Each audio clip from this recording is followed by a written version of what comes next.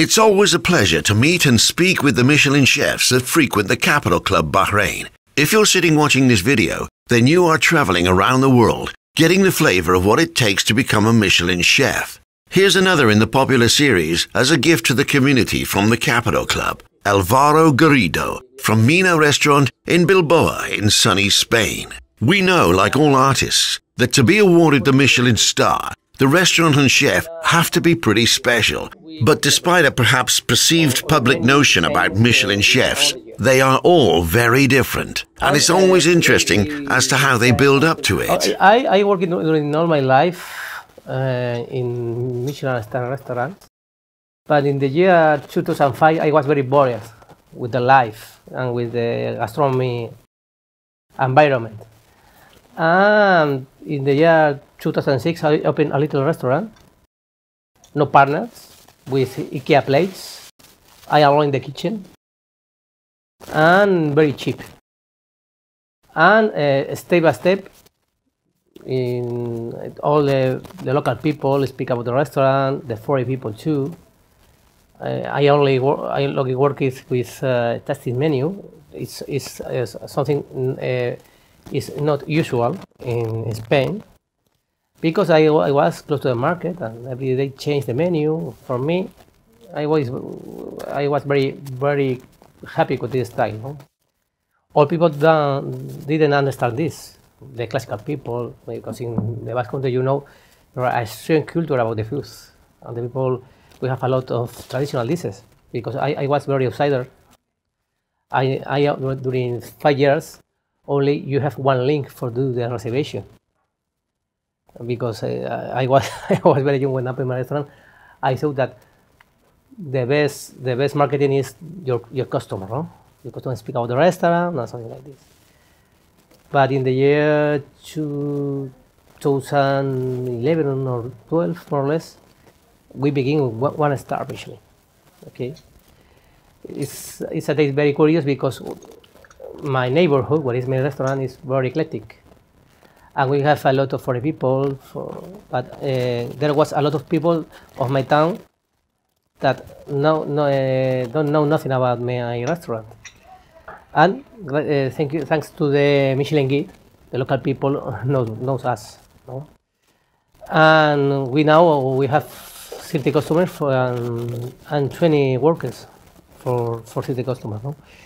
We have now a luxury restaurant but we are working with very local ingredients. Um, yeah, we, we think that uh, the most important is the experience. You have, for one hand, the food, the ingredients, more important, and the taste. If you know, you, you have to, to create one experience uh, based in the taste and the flavor, and you have to think that the person who sit on your restaurant have to enjoy a lot. This is the, for, the most important for us.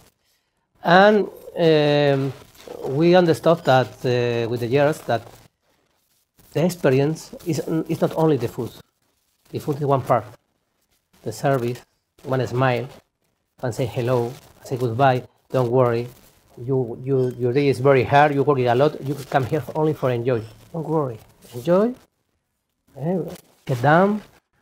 And this philosophy is is uh, that uh, we have in our restaurant for the reason in the year 2012 the the wall uh, go out of my my kitchen the little kitchen is open kitchen. And for uh, and uh, we always say that we are in a house we are in a kitchen with tables. For the reason we we thought that uh, open kitchen and all people can see us like we cooking can ask can say hello in, in a relaxing environment. No? The luxury for, for us is this, no? because we, we live in one society with a lot of stress, a lot of work, always running, and you you come to my restaurant and you know what uh, you are in your house. This is the, the, the main philosophy. In this case, adaptation was required. The Capital Club menu was not so typical of what was served back in Bilbao at Mina to be um, able to change something in one moment with a new product. Uh, we are close to the market. You, you should think that uh, the service uh, began at 2 o'clock. to uh, 12.30, the fisher uh, uh, come with me, I have this for you. Okay, change. Or the, or the hunt season, the game season, I have a lot of customers, clients that come for when I have hare, a rabbit, one rabbit, wood pigeon, and I change the dishes in, in function of the client. No? It's very natural, like a house. Yeah. So it's not all paella and omelets, although Alvaro did explain that even Spanish omelets vary from mile to mile across Spain, as does the flavour of the meat, grazing on the rich pastures of the north to the dry sandy environment as you head south through Spain. But what else pulls the dining tourist in? Yeah, we have um, several um, several uh, customers, foreign and local, because every summer come here. I have in a very short season is the goose egg. The goose egg is a very local uh, variety of goose. The, the goose only put two or one eggs to a week during one month and a half. The, the eggs is uh, 200 grams and the egg yolk around 100. And we do several places with this. And we have several customers that we have we must to, to phone and told her, hey, come here and enjoy with the goose. And we have uh, this, this situations produced every year. No? For us, it is it's magical, this. Pretty typical, but not always with Michelin star chef menus. The dishes can be small, but incredibly rewarding in taste. Alvaro Garrido is no exception, and nobody was disappointed in any way, shape, or taste. My philosophy of, of the tasting menu, you, you, you should think that you eat 14 or 18 uh, plates, very small plates.